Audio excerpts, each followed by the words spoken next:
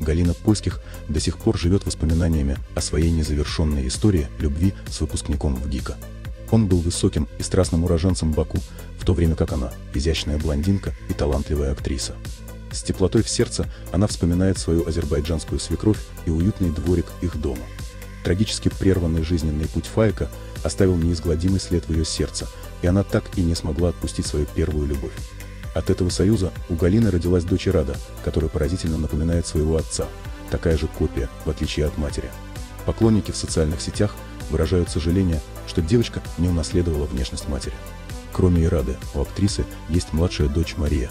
Поделитесь своим мнением об этой звезде в комментариях.